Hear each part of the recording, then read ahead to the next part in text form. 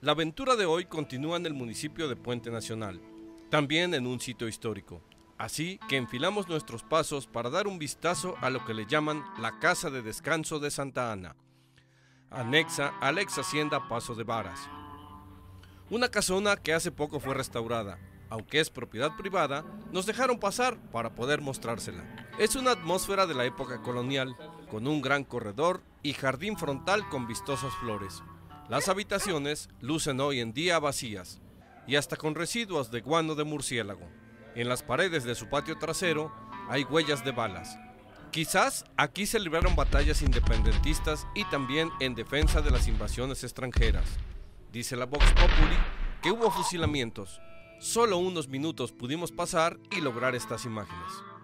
Ahora nos trasladamos a otro lugar más importante, a escasos 500 metros de este lugar hasta lo que fue un campo militar en la ex hacienda Paso de Varas, también propiedad de Antonio López de Santa Ana. Esta construcción del siglo XIX formaba parte del sistema de defensa para resguardar la ruta que originalmente siguió el Camino Real entre Veracruz y la Ciudad de México. Podemos decir que su importancia por el momento geopolítico en que vivió y que se desarrolló el general Antonio López de Santana jugó un papel muy importante así como lo fue su famosa hacienda Manga de Clavo por el rumbo de Vargas, pues aquí fue un campo militar que obviamente para el tiempo en que él, 11 veces presidente de nuestra patria, significó de su mayor importancia. Desde el frente se puede ver la magnitud de lo que antaño fue este lugar, donde se guarnecían los soldados al mando del general Santa Ana. Para 1803 era dueño el marqués de Salinas y don Pedro Mejía era su administrador, llegaba hasta Topan, colindaba con, las, con la famosa hacienda de las tortugas, llegaba hasta Santiago de la Peña, que es Abracardel, eh, el famoso, famoso lugar de Zempoala, eh, el Agostadero, hasta allá llegaba esta famosa hacienda. En el frontis del edificio principal, nuestro lábaro patrio ondea en su mástil. Parece ser aún el mudo testigo de las batallas que ahí se efectuaron y con las huellas propias de su historia.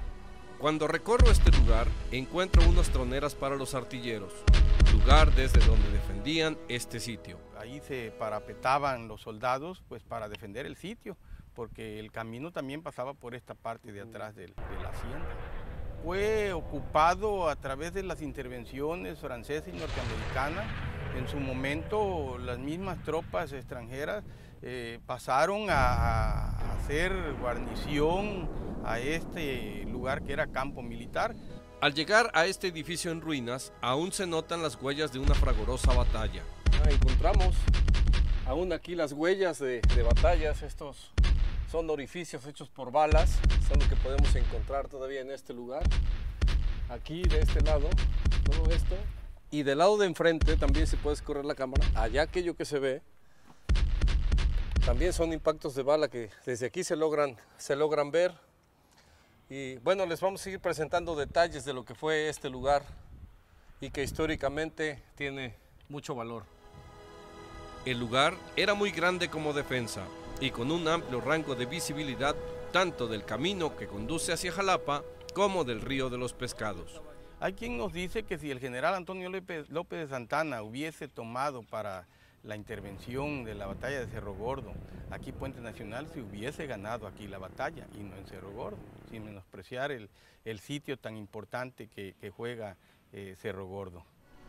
Al caminar entre estos vetustos edificios en ruinas, puedo ver un polvorín, lugar donde se resguardaba el arsenal bélico. Cruzando el amplio patio, se llega al lugar donde estaban las caballerizas y a pocos pasos entre sus vetustas paredes llego a lo que fuera la intendencia con sus recámaras principales que ya han sido restauradas. Al recorrer sitios como este, la imaginación empieza a volar, pensando cómo pudieron haber sido las batallas en la lucha por construir un país como el que ahora tenemos. Eh, creemos que este espacio eh, para el turista, para el que busca afanoso la historia de nuestra patria, aún con lo controvertido de la vida del general Antonio López Santana, un jalapeño nacido en estas tierras de Veracruz, pues significa venir a recrearse, venir a, rememorar esas luchas por, por buscar la independencia de nuestra patria. Pues amigos, así es como terminamos una aventura más aquí en el municipio de Puente Nacional, precisamente en la ex hacienda Paso de Varas del expresidente Antonio López de Santa Ana. Para más noticias informó Ángel González.